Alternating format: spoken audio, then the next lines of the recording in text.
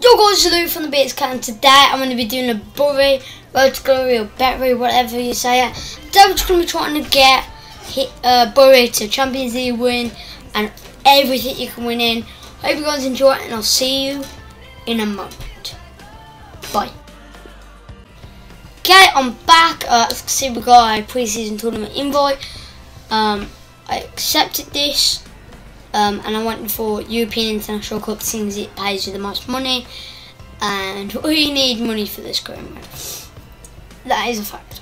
So let's see what happens here. So uh, here I go to check out new team. Or boys team. Um, it's not the best. Terrible actually. Um, but it's good for it's a good for a League Two team.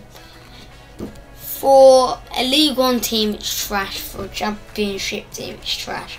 For a Premier League team, no, just everyone's gonna be a Premier League. But um, just looking at the team um, to see what could be best. Um, I'm looking at the right back position and the centre back position. No, it, they're not good. The right back is actually a right mid. I learned that, so I, I think I got a right back and a centre back. Uh, both six eight rated, so I'll get to you when we've done that or when we get to our next game. See you. So I am back. Um, here I did a youth squad, um, just so I could um, get some new players maybe try and build up those players, use them for the road to glory. Um, this is pretty much what football's all about. Getting new players from youth or free agents or from other clubs and working your way up. So that's what I'm trying to do in this career mode. Um, here, I don't know, I didn't know where I was going to go to. In the end, I went for England. Um, Australia, New Zealand, to the same. Um, I was looking a bit around for Brazil and uh, other countries in South Africa, South, South America.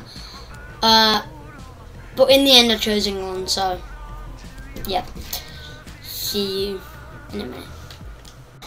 So the game has just started and game's underway.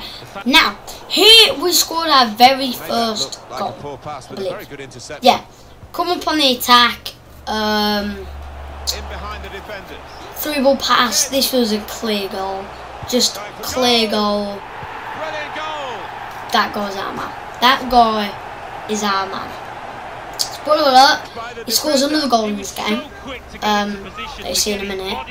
But yeah, he's our man. Now here, um, we have a corner. Uh, could have scored there, but I don't know what they did there. But whatever it was, it was the second of the game. And that was the game. Done and dusted.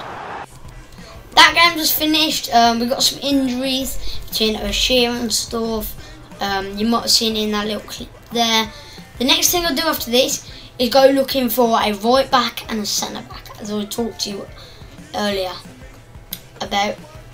We're Going to the, uh, the menu um, I figure out that our right back and our it back is not the best of players. So, I can't buy some. Um, I'm searching for some free agents because free agents is the way to go if you're starting in season two. They don't cost any money apart from their wages and their signing bonus.